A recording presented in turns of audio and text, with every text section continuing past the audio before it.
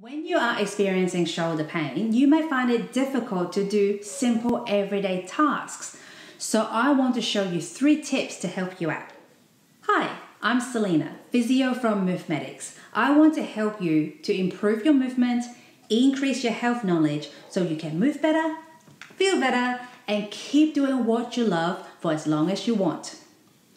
Now, shoulder pain is exceedingly common. You don't have to be an athlete to get it. You don't have to do sports to get it.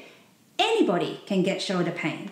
And one of the reasons that it increases this this suck factor for shoulder pain is that it affects a lot of the things that you do. For example, it makes it very difficult to get dressed, to wash your hair, and even to get comfortable to sleep. So I want to show you some tips to help with these activities. Before I show them to you, let me first say that everyone's pain experience is different and unique. So if you are experiencing pain, the best thing for you to do is to go see your health professional and work together to come up with a solution that is tailored specifically for you an internet video like this, whilst informative, simply isn't good enough to do you justice. Now, with that being said, the first tip I want to share with you is for getting dressed.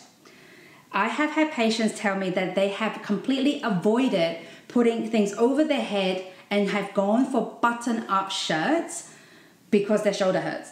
And yeah, I suppose that can work, but I don't even own blouses, so you know that won't work for me and I imagine for a lot of people either.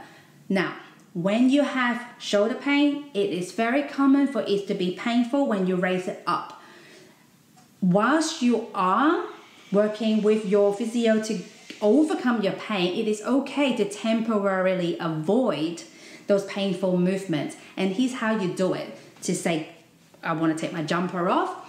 This arm isn't painful. So make the non-painful side do all the work. So I can tuck that and then do this way. So I'm keeping the left arm quite still. And there you go. And to put it back on, it's cold here. You just put your painful side in first Again, this arm is not painful. So make it do all the fiddling around. So you can put that up and take it to where you need it. And this one can do that. And you are dressed. Now, I didn't mean for this to happen, but I have actually messed up my hair here, which is then going to help me show you the second tip.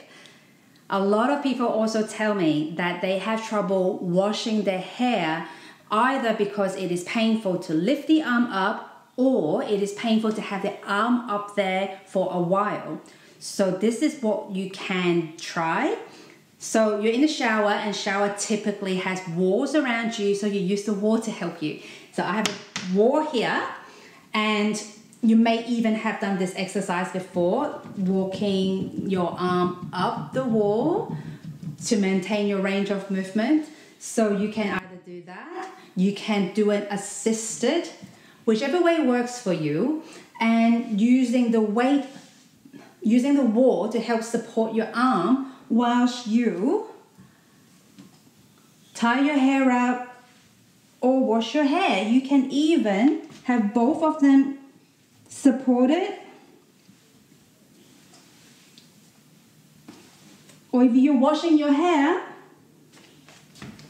support it. Okay?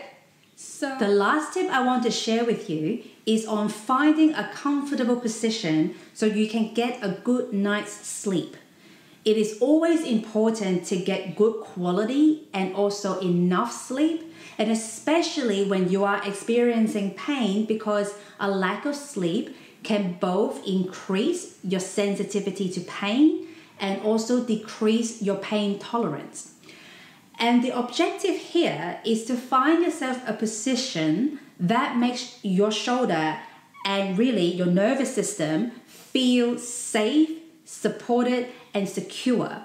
And one way of doing that is to try to support it with some pillows. So here I have a pillow. Let's just say I'm lying on my side.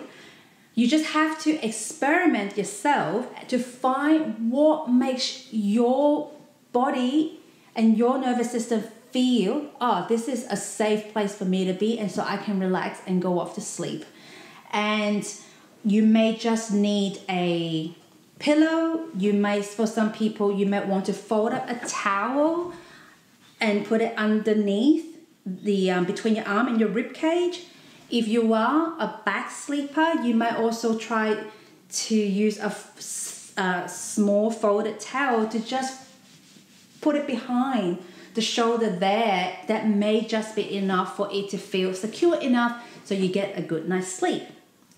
And so, there are my three tips for you for if you have shoulder pain on getting dressed, on washing your hair, and also finding a comfortable position to get a good night's sleep in. I hope that has been helpful for you. Let me know by giving me a thumbs up.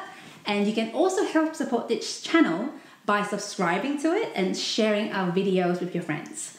And make sure that you ding that bell so you get notified when we have a new video out for you. Thank you so much for watching. Till next time, be free in your movement.